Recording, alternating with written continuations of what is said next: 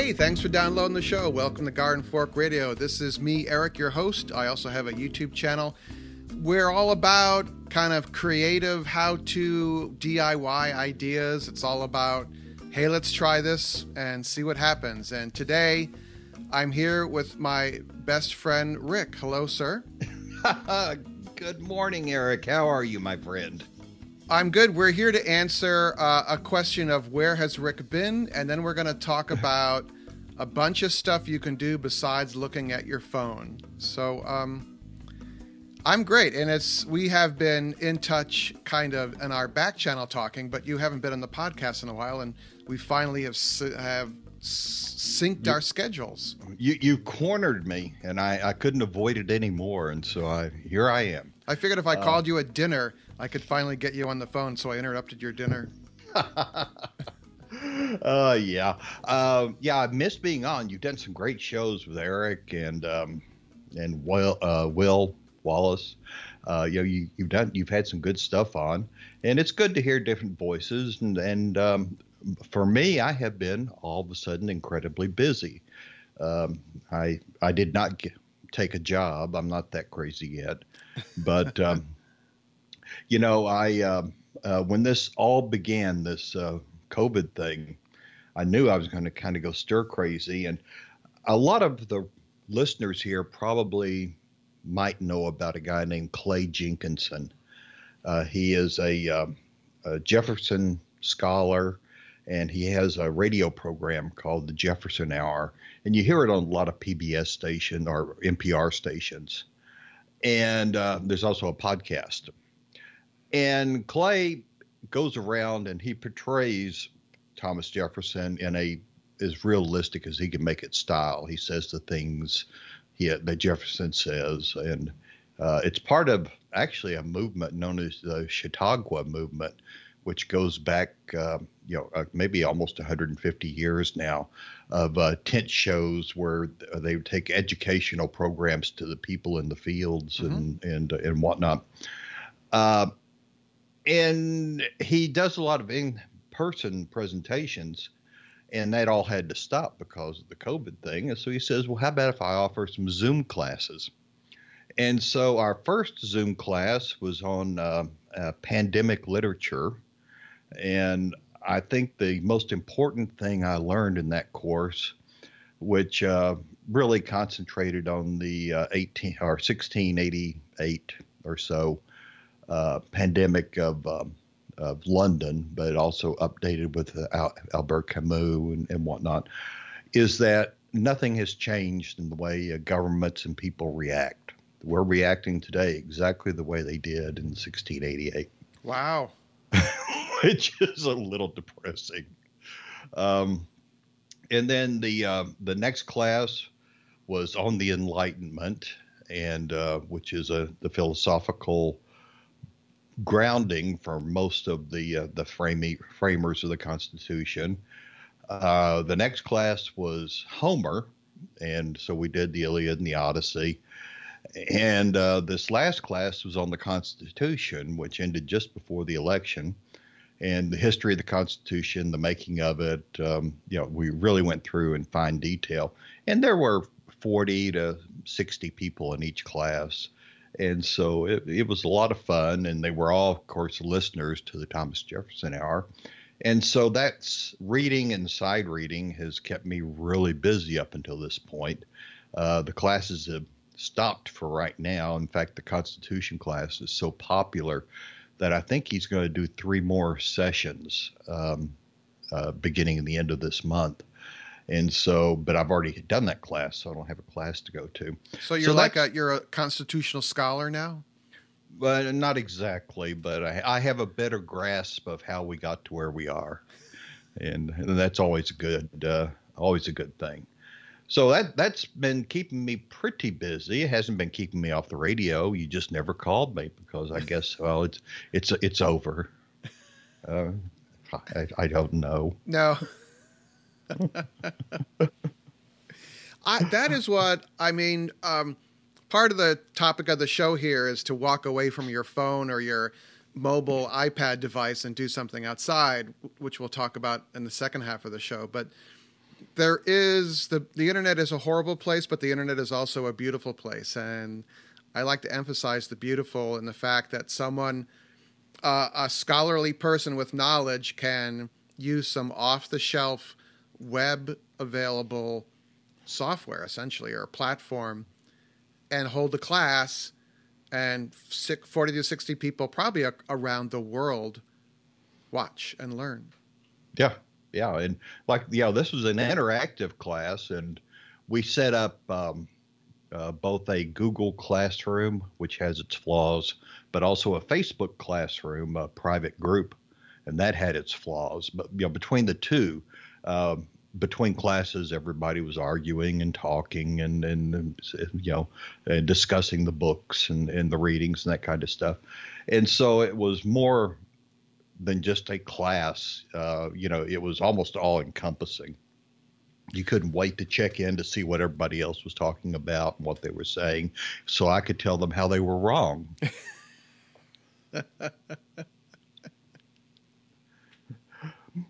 the um, uh, you know, the human body is a wonderful thing, and, but our poor brains um, are, in some ways, that part of the brain that says uh, it used to be fight or flight. Now it's freeze, fight or fr- flight. Oh, the amygdala.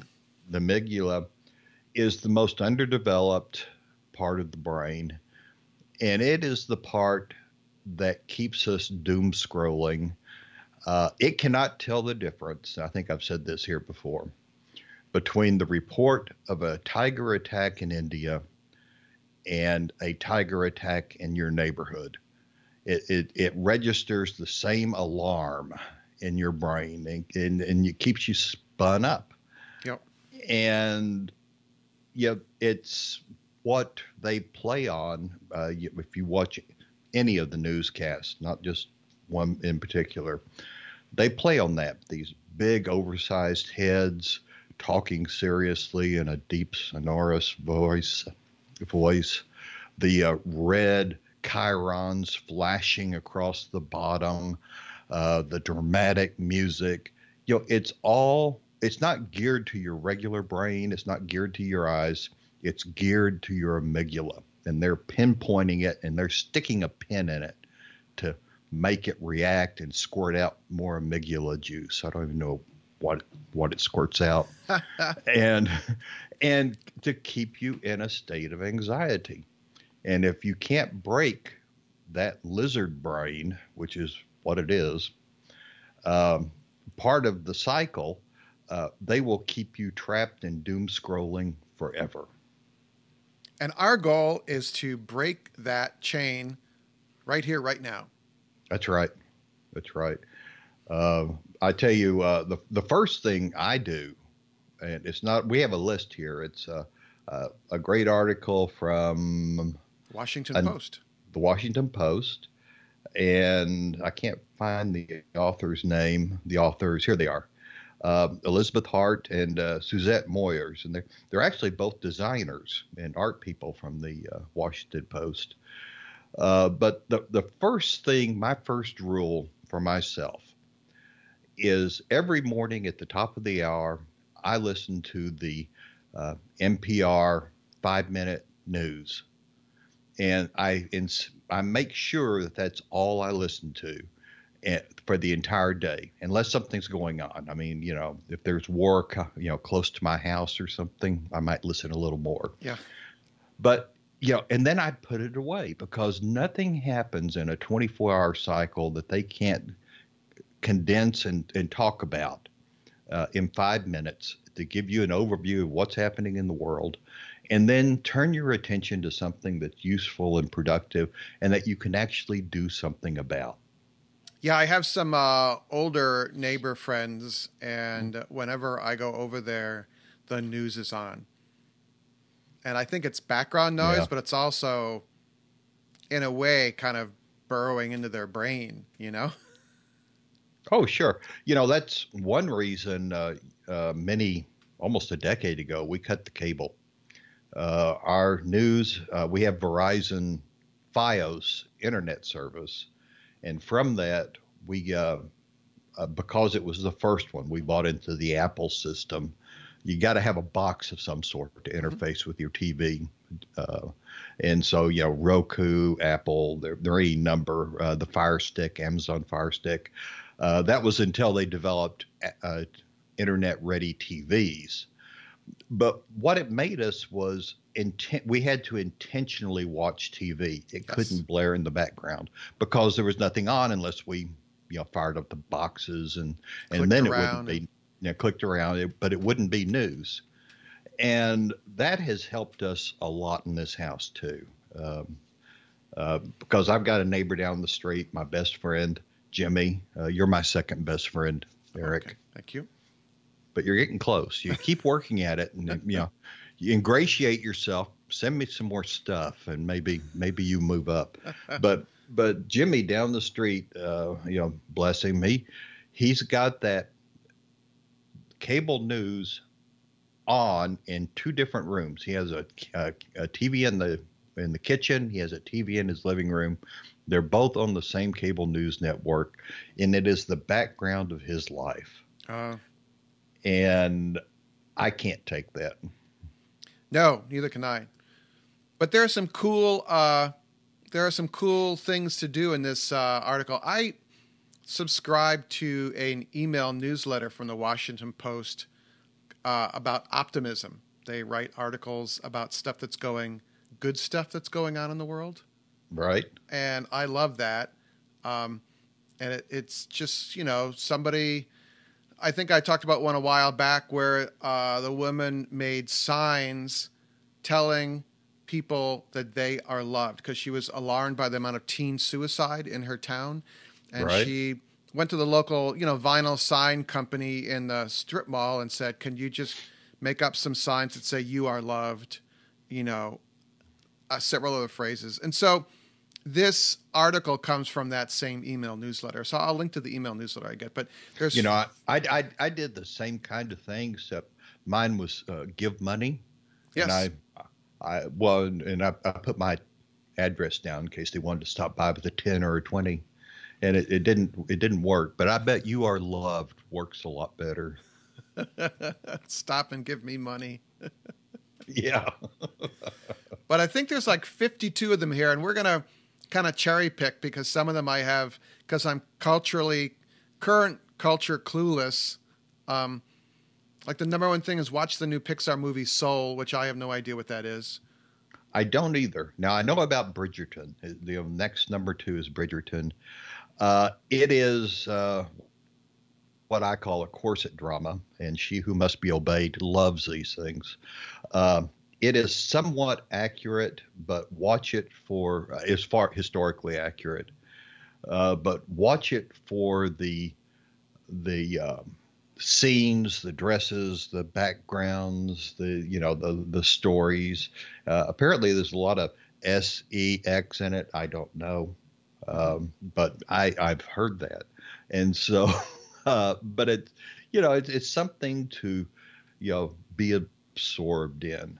And um, and that's for us. That's the most important thing of any TV. We, it's kind of our little ritual at night. We find something and we we try to be absorbed in it to get out of ourselves in this world. Cool. The next three things are all related, but uh, on second thought, it says read a book, check one out digitally, and assemble a virtual book club, which I love all three of those. Uh, I've been yeah. using the resources, the online resources of the Brooklyn Public Library more and more. And you can read books and magazines using a couple different apps. And you have to start with a library card and you type in the library cards your membership number and probably some kind of key code and then all of a sudden you have this access to the library plus this whole world which i really like yeah you know one of the things most people don't realize about their library card is if you're doing hardcore research and you're hitting a lot of uh, scientific or uh, social science journals uh, your library card actually gets you past almost every firewall. And so you can read those uh, high end articles if you need to, if you're re- uh, taking an interest in something very, very specific and high level. you know, book club is always an interesting thing. One of the problems, because women discriminate against men so much, uh, is, is it's almost impossible to find a book club that allows men. Hmm. Uh, I, I, and I, it's funny because I I've kind of checked around in the past for book clubs, and uh, of course, this course I was taking, these courses were essentially book clubs uh, in a lot of ways, but it's really tough for guys to find book clubs. We're going to hear from people on that one. So it's radio at gardenfork.tv. so we're going to find Rick a book club. The next three are, uh, next four are all very similar. Take a walk, listen to this podcast, go on a hike, or train for a 5K. And I clicked on the link for the podcast, and it is um, uh, so it's called Take a Walk from Pop Up Magazine, and it is noted podcasters and radio hosts and authors telling stories geared for while you're walking. Oh, it's called Take, Take a Walk. It's available on uh, it should be on most podcast apps. So yeah. Wow. You know, um, and certainly there are podcasts that have nothing to do with uh, with politics or the the current situations out there that are a lot of fun to listen to. Uh, one of my favorites is uh, LeVar Burton reads. You remember yes. uh, what Reading Rainbow? Well, same same guy. Yes, and Mr. Star Trek. Yeah, yeah uh, Geordi on uh, on Star Trek. But one, he has a wonderful voice and wonderful style, and he reads uh, some fascinating stuff. Uh, the New Yorker fiction is a uh, a great one. There are some. Um, oh, I'd have to go. I'm now I'm blanking. Uh, say something smart while I'm I'm looking. Oh, well, another one is they're talking about donate your time to a cause. And this follows through with a while ago, I was talking about donate money to your local food pantry. You could also donate your time to a food pantry by delivering food to people that need it. Uh, locally, you can walk with your grocery cart, or you could use your car to do that. So, okay, I found the two I was think, trying to think of, and I, I blanked on them. I like a lot of people, have radio freeze. As soon as the microphone comes on, I can't think of anything. uh, one is the Mortified podcast, and it's adults reading their teenage diaries on stage. Yes, and yeah. it is it is so funny, uh, you know, and and you, it's so relatable.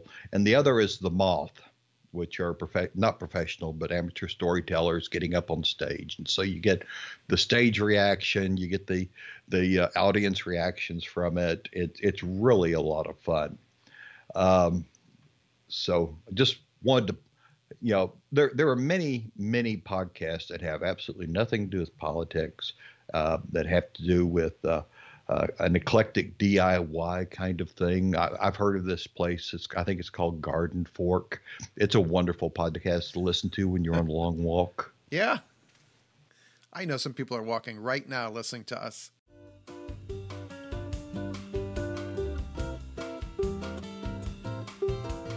Would you be interested in kind of the behind the scenes and inside the mind of Eric and what goes on to make the podcast and the videos? You can do that. If you want to support Garden Fork, the YouTube channel, and our podcast here, you can become a Garden Fork patron. Uh, it starts at $5 a month, which is what? A nice cup of coffee. And for that, you get stuff updates, every stuff. How's that for a word? Basically, uh, through the Patreon app and email, I post things that I don't post to Facebook or Instagram or include in the email newsletter.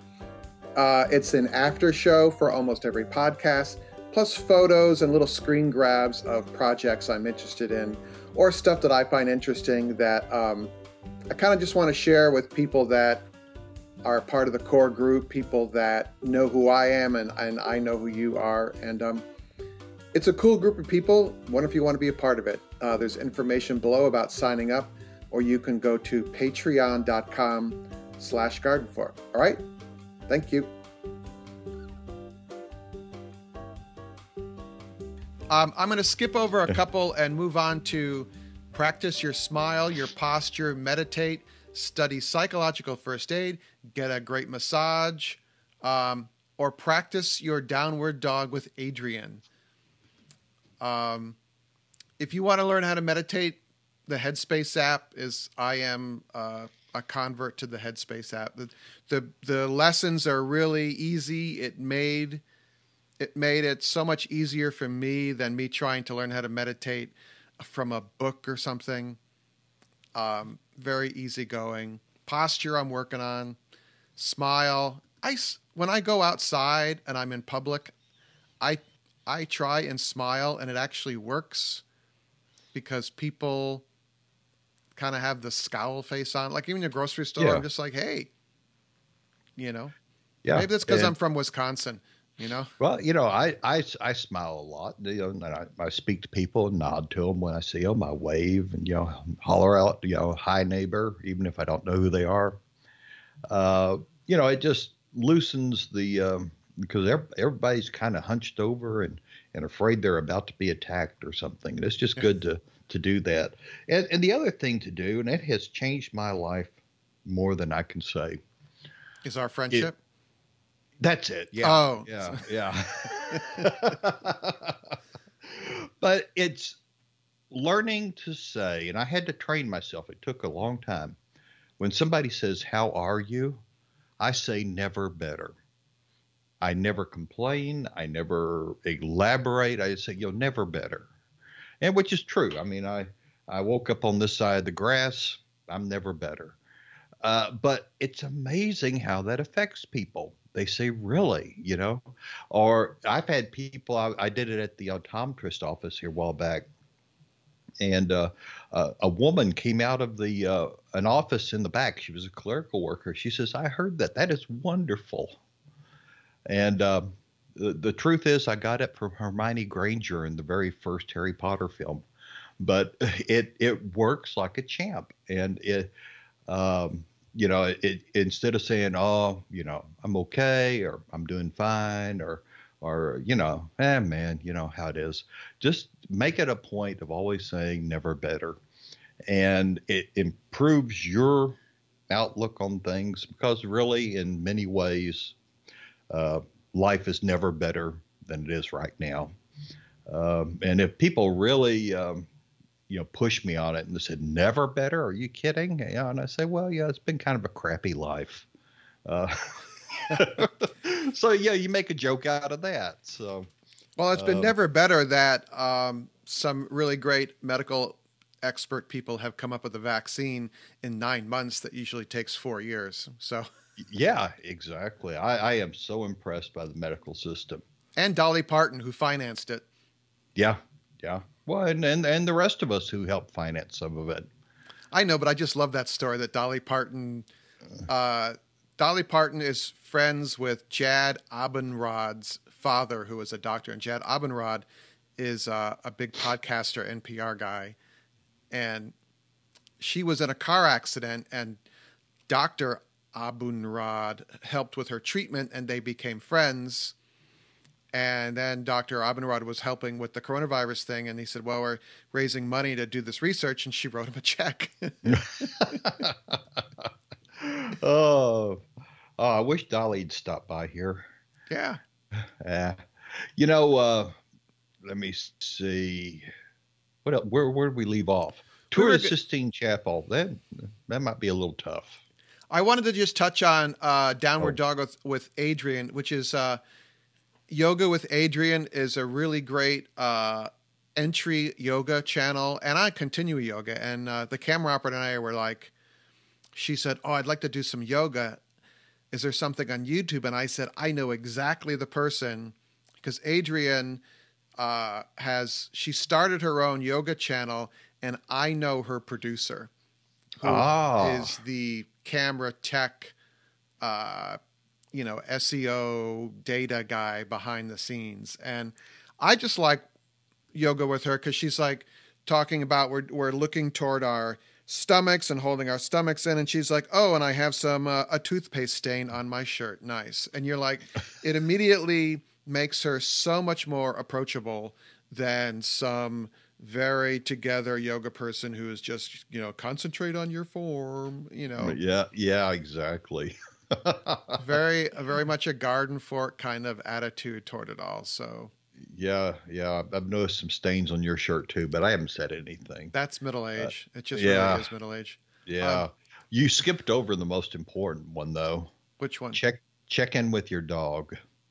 Yes dogs bring me so much joy, and um, I, I, take them uh, to the dog park. I, I, I let them run free in the dog park, and I walk about two or three miles around the perimeter of the dog park while they're doing whatever dogs do.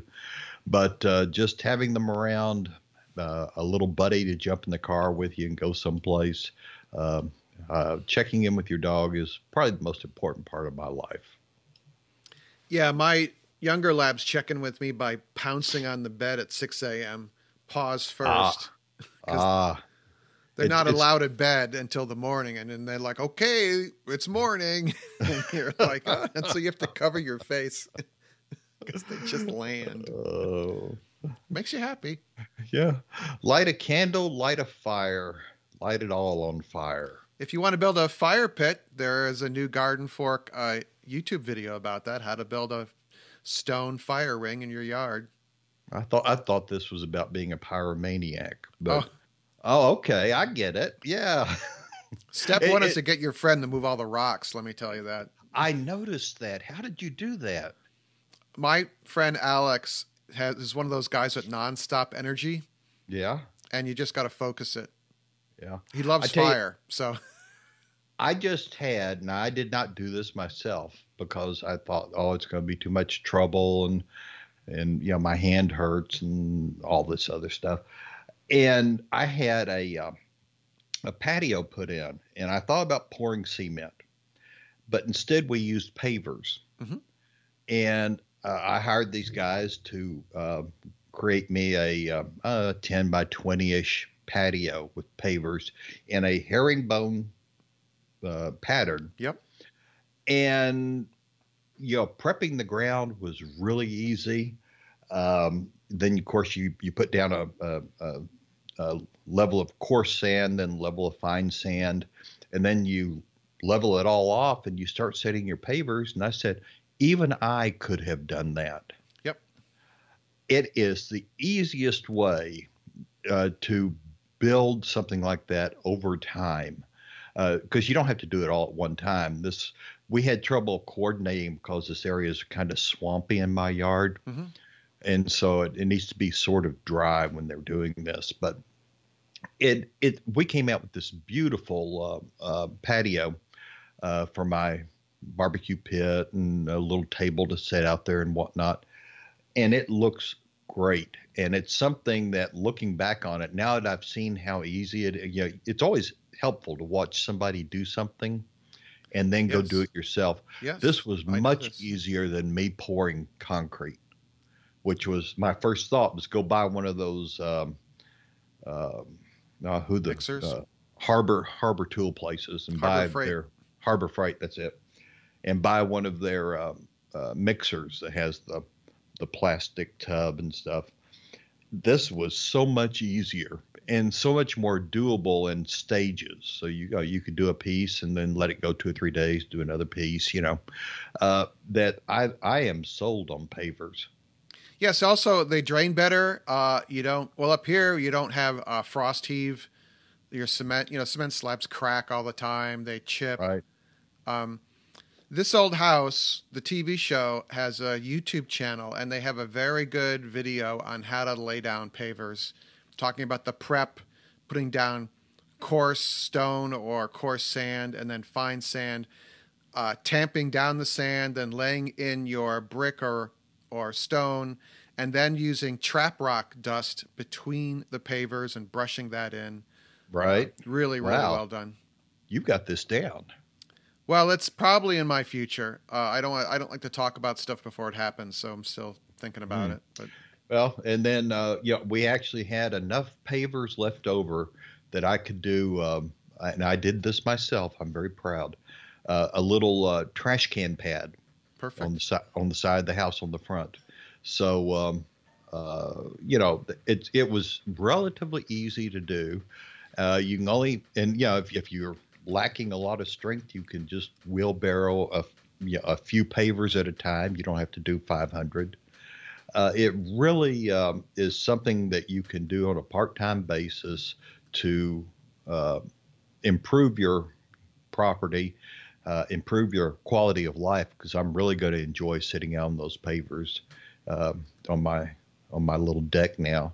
So I, I think it's a it's a great project. It's a great DIY.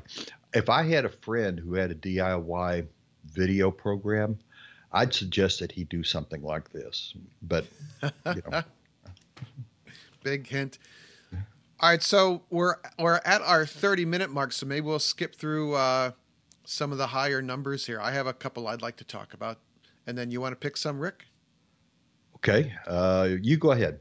Um, exercise, get blood flowing, do 30 jumping jacks. Yes. Um, Headspace, the Headspace app has a health section with really great exercise routines that are geared for not just, you know, super buff people from California, but for the rest of us. Uh, one of the suggests here is lift some barbells. I would suggest resistance bands with the handles instead of that. And there is a great YouTube channel by a couple, uh, Jen and DJ. It's called ACHV Peak. So achieve peak, but take out the vowels ACHV space peak. They have fantastic videos. They have short ones, they have long ones, and they're all based on resistance bands. Resistance bands are a replacement for a gym. I actually quit. I quit. I left my gym membership because I realized in my basement I could use resistance bands and I didn't have to go anywhere and it didn't cost anything. And I'm more likely to do it because it's right in the basement. Right. Yeah. You know, some of these, um, of course, here, this is a real garden fork one. Season that cast iron. Yeah. Yeah. It's not rocket science, man. That's you. You wrote this. It's science, uh, actually. Then there are some that are orga- organize your nightstand drawer, organize your closet, organize little, literally everything. And this is what my wife does. She organizes me on a daily basis. That's how she keeps her sanity. There's um I am actually organizing my uh, basement of our apartment in Brooklyn and it became during the renovation kind of a dumping ground for all my construction gear and I had to open a bunch of holes in the basement ceiling and I made the mistake I'll back up. I when I was a contractor, one of the apartments we were working on, the the woman asked me to assemble a bunch of it's called Tefla wire racks and stuff, their closet organizing system. And she worked with her architect. And I'm like, How did you figure this out? She goes, We started by going through all my clothes and measuring my clothes. And then we figured out what organizational gizmos we needed. And that went right out my head. And then I went and bought a bunch of clear plastic containers from IKEA, thinking I was going to organize my basement. And I realized I didn't need these giant clear containers. I needed small, little cubby kind of stackable bins to organize them. So figure out what you're going to organize, think about how you're going to organize it, and then go shopping. You know, um, I've actually thought about doing that for my closet. I have a uh, small, very old chest of drawers, you know, underwear, t shirts, that kind of stuff. And uh, everything else hangs. And I've thought about putting that up the the bare backside of the closet and, and freeing up that rod space, which is where it sits underneath the, my chest of drawers. And I've, I've thought about trying to do something like that. Uh, but then I realized that in truth, I only had um, our closet is maybe 10 feet deep. And so there are two 10 foot rods. I only own about three foot of rod, and the rest of that rod belongs to my wife because she's already overflowed from her closet into uh. mine, and also the closet in the hall and the closet in the two bedrooms. And so uh, I, I'm afraid to free up any more rod space just in case she wants it. But uh, it's still it it the idea of uh, the, wire baskets, uh, you know, letting air flow uh, through your um, um, you know, through your clothes and, and things not being so locked up. Then it's just as easy to find something in a wire basket as it is in a, uh, a dark old uh, uh, stuffy uh, uh, chest of drawers. So I've, I've thought about doing that. The last two are uh, treat yourself with a cocktail or with some brownies, and I like both of those. Yeah, boy, I love brownies. I, I, I, used to love the cocktail thing. I've, I, uh, I don't know if anybody, I've told anybody I quit drinking. So good for uh, you. Just couldn't. Well, I've lost 60 pounds. Yeah. I've seen that. I've seen that with my friends that quit drinking. Yep. Yeah. Uh, as much as I loved it, and uh, you know, even if it's not out of control, um, it you got to work really hard to uh, to get rid of those calories. So, so, it's not on the list, but I think both of us would agree uh, to get people to buy a bike or an electric bike. Oh yeah, I, my neighborhood has begun to look like Amsterdam.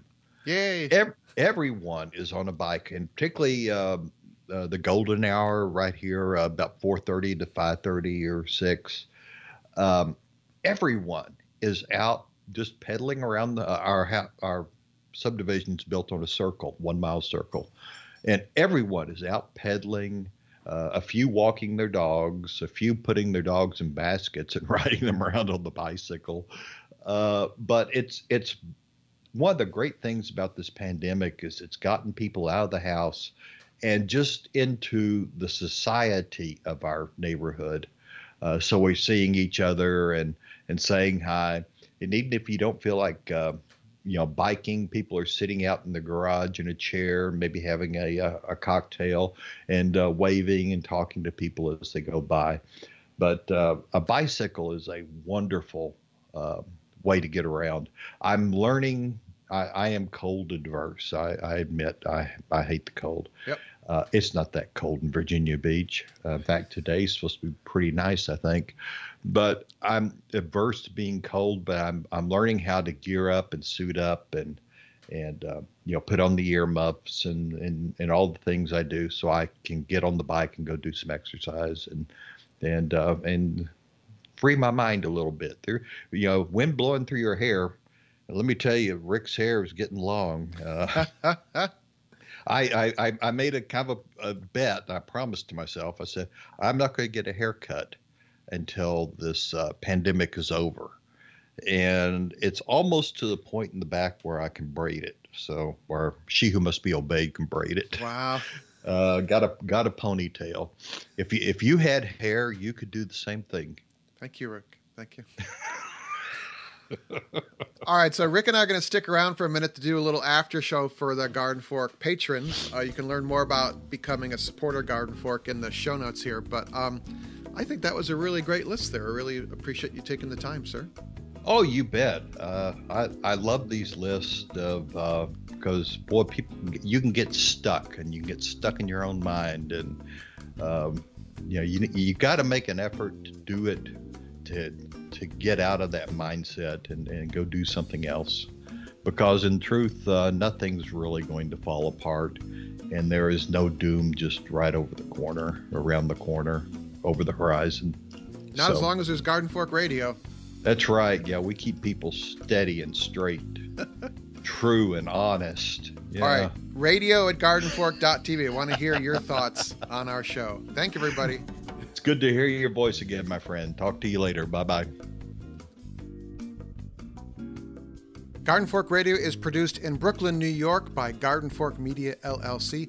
Our executive producer is Jimmy Gooch. You can learn more about Jimmy and the custom hollow books he makes at hollowbooks.com. The music for our show is licensed from audioblocks.com and uniquetracks.com.